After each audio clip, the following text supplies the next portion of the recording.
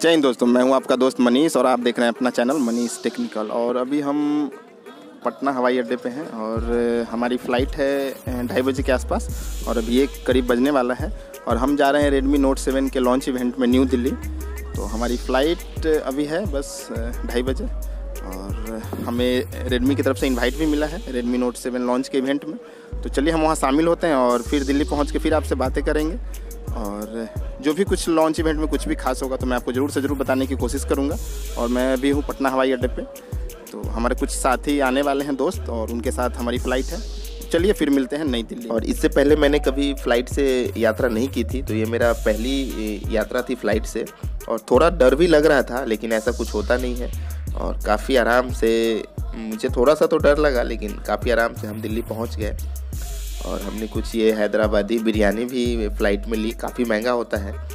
और फाइनली हम हम दिल्ली एयरपोर्ट पे पहुँच गए और अपने जहाँ हमें रुकना था आई होटल में नई दिल्ली वहाँ भी हम पहुँच गए। और काफ़ी नज़दीक था ये हवाई अड्डे से। दस पंद्रह मिनट में हम वहाँ पे पहुँच गए और हमने रात का डिनर भी काफ़ी तो हम जम के किया। होटल में है और ये होटल है आईबिस मैं बताता हूँ आपको होटल का नाम है आईबिस जैसा कि आप देख पा रहे होंगे। ये हुआ होटल और कल इसका लॉन्च इवेंट है रेडमी नोट सेवन का। तो उसमें हम शामिल होते हैं। और काफ़ी खूबसूरत होटल है आई आईबिस को दिख ही रहा होगा।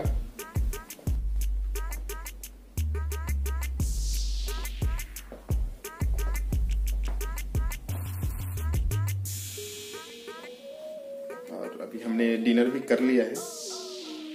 जल्दी से हम सोते हैं और सुबह हमें लॉन्च इवेंट में भी जाना है। तो जल्दी सो जाएँगे तो जल्दी उठ भी जाएँगे। और हम सुबह नौ बजे जल्दी से नाश्ता करके तैयार हो गए और बस में बैठ गए अपने, जो हमें के टी जादव इंडोर हॉल जहाँ पे ये लॉन्च इवेंट होना है, वहाँ पे ले जाएगी। और दिल्ली में काफ़ी ट्रैफ़िक रहती है तो इसलिए हम जल्दी से रेडी हो गए हैं और आप देख ही रहे हैं कितनी सारी ट्रैफ़िक है। हम पटना में डरते हैं, लेकिन यहाँ दिल्ली का देख के तो क्या मैं बोलूँ? इतनी ट्रैफ़िक है, कैसे दिल्ली वाले दिल्ली में रह पाते हैं इतनी ट्रैफ़िक में? हम लोग तो पटना में ही डर जाते हैं, लेकिन भाई उनके जज्बे को सलाम है, इतनी ट्रैफ़िक में रह लेते हैं। और हमने इंडिया गेट भी देखा, नज़दीक से तो नहीं, बस से ही देख पाए। कभी मौका मिलेगा तो ज़रूर जाएँगे। और बस देख रहे हैं ट्रैफ़िक में, फिर हमारी गाड़ी भी रुक गई। और ऐसे ऐसे करके हम पहुँच ही गए। और हमने लाइन भी वहाँ पे बहुत लंबी लाइन थी तो सबका रजिस्ट्रेशन वगैरह चेक करके उन, जो इनको इनवाइट मिला था, वो सब चेक करके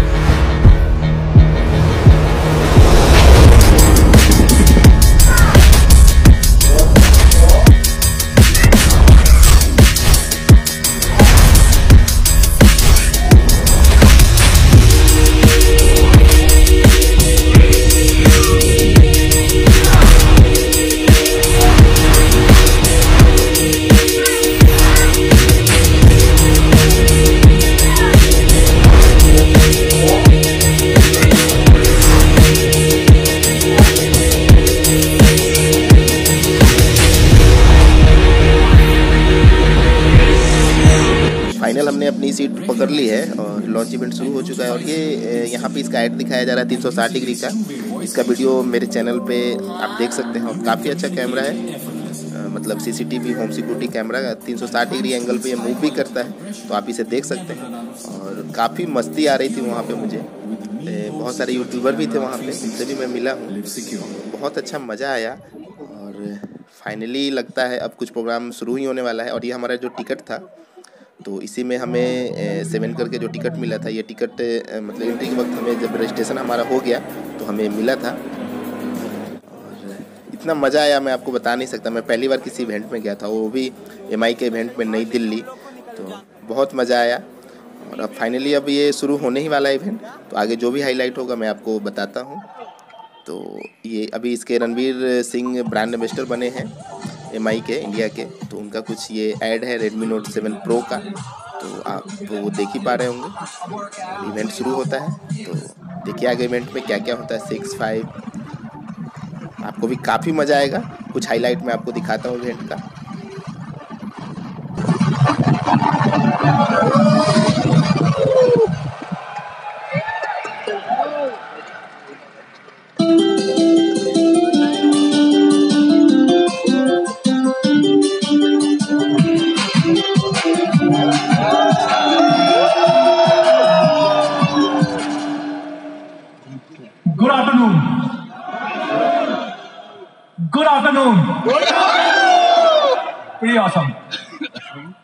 So my name is Manu.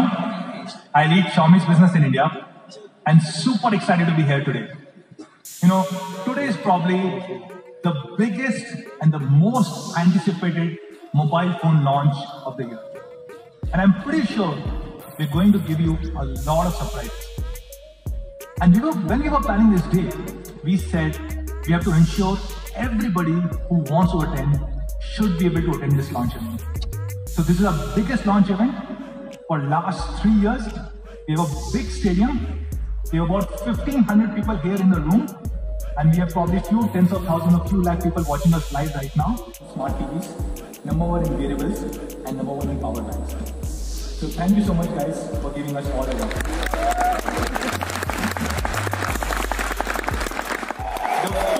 Redmi Note seven का हम लोगों ने अंदाज़ा लगाया था लेकिन यहाँ पे ग्लोबल मोड से ये लॉन्च हो गया रेडमी नोट सेवन को तो काफ़ी अच्छा लगा ये हमें वहाँ। जैन ने जब ऐसा बताया और सबसे अच्छी मुझे इनकी बात लगी उन्होंने पाँच लाख रुपए और दो करोड़ रुपए।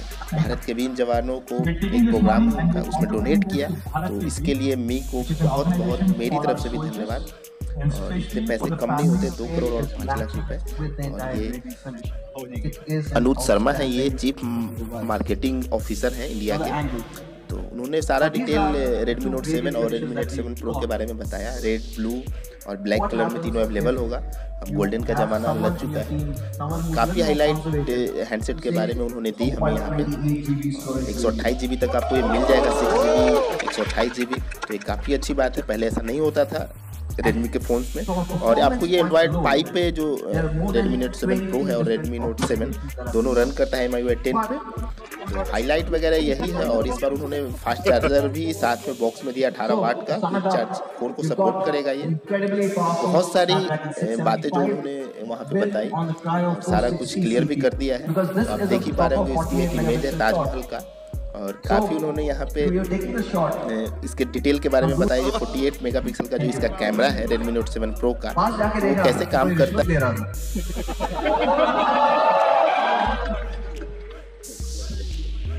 Okay, moving back. What you get with the 48 megapixel sensor or camera on the Note 7 Pro is the highest resolution sensor ever put in a smartphone.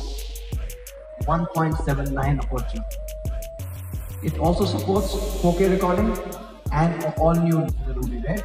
So, Redmi Note 7 performance redesign. It's built for people, a fan want that performance coming in in this price class. It is not an underclocked version. It is not a light version. It gives you the proper performance of a Snapdragon. Not the underclocked version. Great, great device. And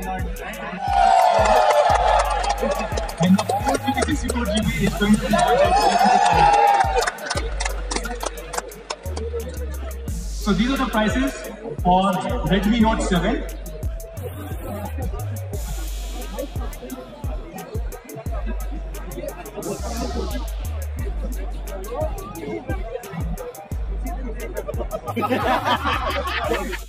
और launch event समाप्त होने के बाद हमें experience zone में ले जाया गया।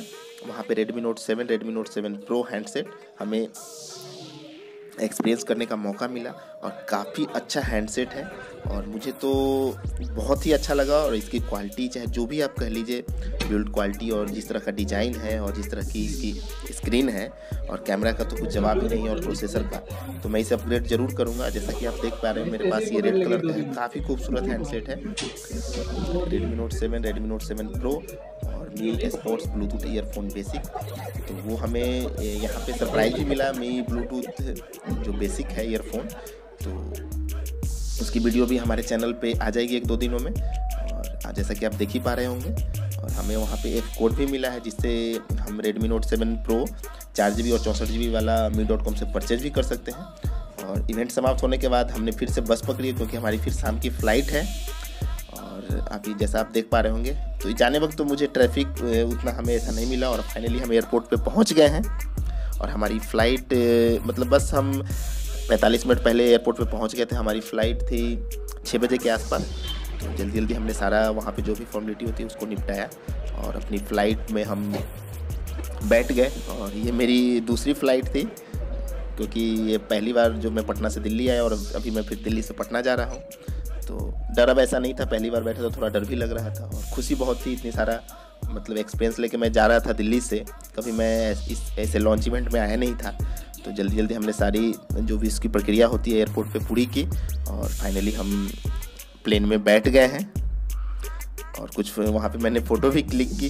अरे, पहला अनुभव होता है तो लगता है कुछ फ़ोटो क्लिक कर लें। और अभी तो डर नहीं लग रहा है, लेकिन काफ़ी मज़ा आया। और आपको मैं और क्या बताऊँ? आप जैसा कि आप देख ही पा रहे हैं। और काफ़ी मज़ा आया। और कुछ यादें समेट के हम पटना पहुँच ही गए। और बहुत मज़ा आया इस लॉन्च इवेंट में मुझे। फिर अगर मुझे इस तरह का कोई लॉन्च इवेंट होगा तो मैं कोशिश करूँगा कि मैं ज़रूर जाऊँ वहाँ पे। काफ़ी कुछ सीखने के लिए हमें मिलता है। और ये वीडियो, मेरा ये पहला ब्लॉग था यूट्यूब पे, मनीष टेक्निकल चैनल पे। तो आपको कैसा लगा हमें ज़रूर से ज़रूर बताइएगा। और ये आप दिल्ली का, ये आप मतलब मैं काफ़ी ऊंचाई पे हूँ, वहाँ से आप ये देख रहे हैं वीडियो। तो नीचे बहुत अच्छा लगता है। देखने में। और पहली बार देख रहा हूँ तो काफ़ी अच्छा लगा। और हमारा वीडियो कैसा लगा आप ज़रूर से ज़रूर मुझे बताइएगा। अच्छा लगे, बुरा लगे ज़रूर बताइएगा। और मेरे चैनल पे अगर आप नए हैं, अभी तक मेरा कोई आपने वीडियो नहीं देखा है तो देखिए अगर चैनल हमारा अच्छा लगेगा तो उसे ज़रूर से ज़रूर सब्सक्राइब कर लीजिएगा। और कुछ भी हो लाइक और सब्सक्राइब, और हो सके तो शेयर भी कर दीजिएगा। और हम पटना के ऊपर का ये सीन मैंने लिया है। पटना रात में ऐसा ही नज़र आता है। और फाइनली हम पटना पहुँच गए। और कुछ फुटेज मैं फिर से आपको दिखाता हूँ यहाँ तो पटना एयरपोर्ट का ये फ़ोटो है। और मनु सर के साथ हमने जो दिल्ली में फ़ोटो लिया था, वो भी मैं आपको यहाँ दिखाता हूँ। और बस यही सब बहुत सारी यादें हैं। मिलते हैं फिर अगले नए वीडियो में। जय हिंद बंदे माता